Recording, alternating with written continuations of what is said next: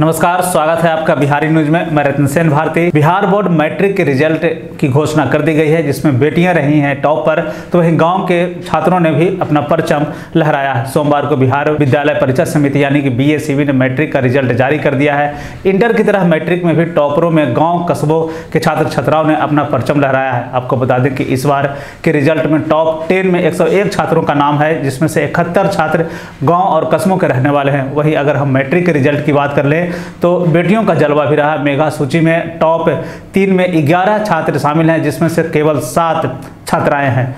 वहीं अगर हम ओवरऑल पूरे रिज़ल्ट की बात कर लें तो छात्राओं की अपेक्षा छात्र अधिक पास हुए हैं। कुल बारह लाख तिरानवे हज़ार चौवन छात्र पास हुए हैं। इसमें से छः लाख पचहत्तर हज़ार पाँच सौ अठारह छात्र पास हुए हैं तो वहीं छः लाख सोलह हज़ार पाँच सौ छत्तीस छात्राएँ पास हुए हैं, जबकि तीन लाख साठ हज़ार छः सौ पचपन छात्र फेल हो गए हैं। इनको फिर से एक बार कंपार्टमेंटल की परीक्षा देकर हुए पास भी हो सकते हैं। वहीं अगर हम प्रथम श्रेणी की बात कर लें तो प्रथम श्रेणी में चार लाख तेरह हज़ार सतासी छात्र जो है प्रथम श्रेणी से पास हुए वहीं द्वितीय श्रेणी की बात करें तो पाँच लाख छः सौ पंद्रह छात्र जो है द्वितीय श्रेणी से पास हुए हैं और इस बार के 2021 के जो मैट्रिक के रिज़ल्ट हैं, उसमें सेकेंड डिवीज़न से पास होने वाले छात्रों की संख्या जो है सबसे ज़्यादा है, यानी कि पाँच लाख छः सौ पंद्रह छात्र जो है सेकेंड डिवीज़न से पास हुए हैं। वहीं अगर हम तृतीय श्रेणी की बात करें तो तृतीय श्रेणी में तीन लाख अठहत्तर हज़ार नौ सौ अस्सी परीक्षार्थी जो है वो सफल हुए हैं। वहीं अगर हम टॉप टेन की लिस्ट की बात कर लें तो पहली बार हुआ है कि जब टॉप टेन में एक छात्र जो है अपना कब्जा जमाया है। 101 छात्रों ने जो है दमखम से टॉप टेन में आने की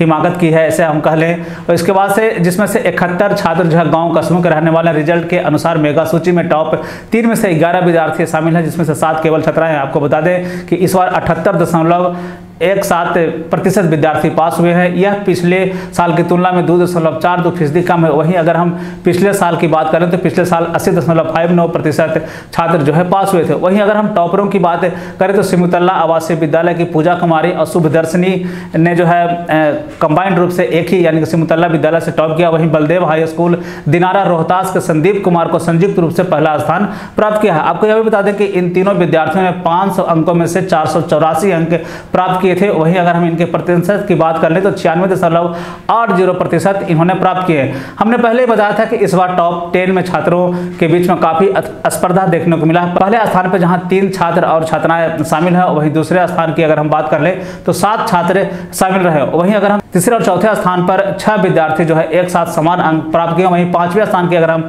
बात कर ले तो यहाँ पे भी छह विद्यार्थी जो है एक समान अंक लाकर रहे हैं पाँचवें नंबर पर। वहीं अगर हम छठे नंबर की बात कर लें तो यहाँ पे दस छात्र जो है समान अंकों के साथ एक जगह डटे रहे वहीं अगर हम सातवें नंबर की बात कर करें तो यहाँ पे भी सात छात्र जो है समान अंकों के साथ मौजूद थे। आठवें नंबर की अगर हम बात करें तो आठवें नंबर पर बारह छात्र जो थे एक समान अंकों के साथ आए थे। वहीं अगर हम नौवें नंबर की बात कर ले तो यहाँ पर सत्रह ऐसे छात्र थे जिन्होंने समान अंक प्राप्त किए। वहीं अगर हम दसवें नंबर की बात कर ले तो दसवें नंबर पर सबसे ज़्यादा बत्तीस छात्र ऐसे थे जिन्होंने समान अंक लाया था। बिहार बोर्ड के दसवीं के रिज़ल्ट भले ही पिछले साल की तुलना में दो प्रतिशत कम रहे हों, लेकिन टॉप टेन की लिस्ट में इस बार छात्रों ने अपना ज़बरदस्त प्रदर्शन दिखाया। बिहार के सिमुतल्ला विद्यालय को मैट्रिक टॉपरों की फैक्ट्री कहा जाता है, और हो भी क्यों नहीं, क्योंकि टॉप टेन की लिस्ट में सिमुतल्ला के तेरह छात्रों का नाम है, जिसमें से दो छात्र बिहार के टॉपर हैं। बिहार बोर्ड के अध्यक्ष आनंद किशोर ने बताया कि मूल्यांकन शुरू होने के पच्चीस दिनों के भीतर रिज़ल्ट जारी कर दिया गया था।